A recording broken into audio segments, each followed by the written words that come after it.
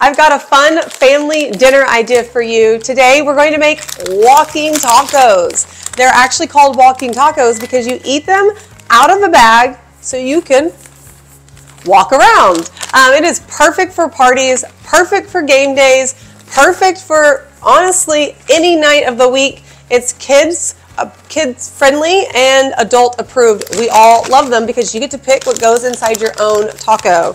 The best part is, is it catches all the mess of a taco. You're gonna love it. I just love it. My name is Carrie with eatingonadime.com and we're on a mission to help families eat well on a budget. You can get today's recipe linked in the description below or just by going to our site eatingonadime.com, use that search box and type in walking tacos because you're going to love this recipe. Let's go make some tacos.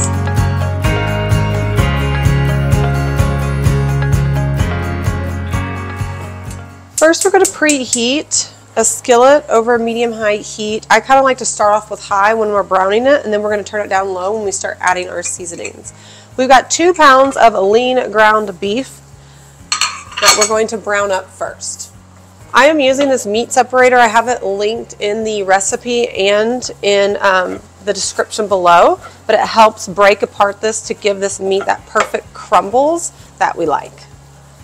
So what you do is you'll break it apart a little bit, then spread it out and let it begin to brown, and then you'll come back and break it up again.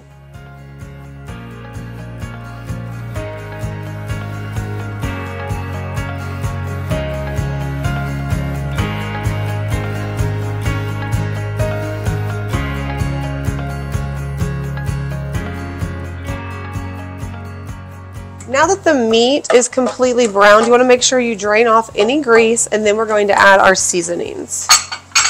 We're going to add a half a cup of salsa. I'm just using picante sauce, just a cheap red salsa will work. Then two tablespoons of taco seasoning. You can also just throw in a packet, but today I'm using my homemade taco seasoning. We just keep it in a little jar and I have that recipe linked for you as well. Once those are mixed in, we're going to turn this to low and we're going to mix this all together and allow those flavors to combine for about three to five minutes. And this is actually our secret to making the best taco meat. If you want it a little bit juicier, you can add a quarter cup of water, but I don't think I'm going to need it today.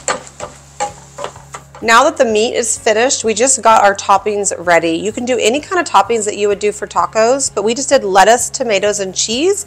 And then you're going to need the individual bags of Doritos. If you don't want to use these, you can just buy a big bag of Doritos and just throw them in bowls, but this is what makes walking tacos so fun. If you're making this for family, then this is just a perfect setup, but if you're making this for like people to come over, I like to throw this meat into a small crock pot and keep it on warm.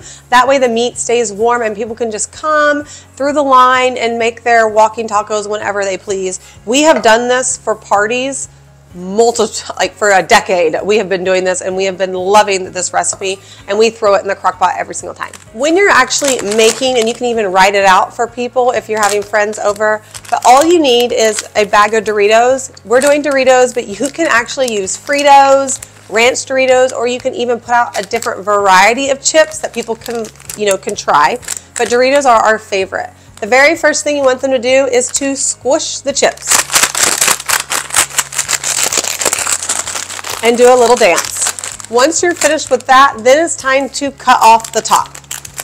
Now, a lot of people will tell you to go sideways because it's easier to open, and that's great. But for me, I have to do off the top because it drives me crazy that Doritos are sideways.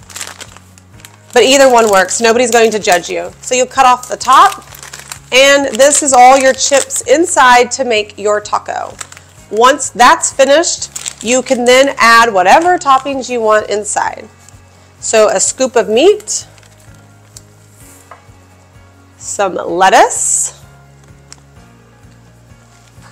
some cheese, and tomatoes or whatever topping you would like.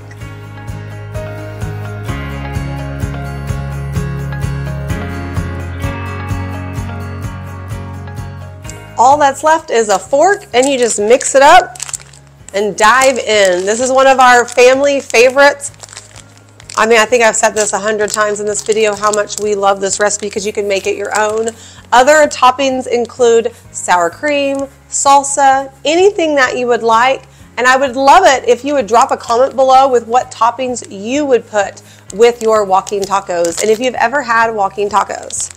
Now, friends, we're done. But before we go, make sure you like and like this video and subscribe to our channel so you don't miss out on any more of our family-friendly recipes. And if you haven't yet, you can get the full link, the full recipe in the link in the description and you can or you can just go by eatingonadime.com and type in the code walking tacos. And in case you didn't catch on, the reason they're walking tacos, see look, we can walk around. I will see you next time in my kitchen. Bye friends.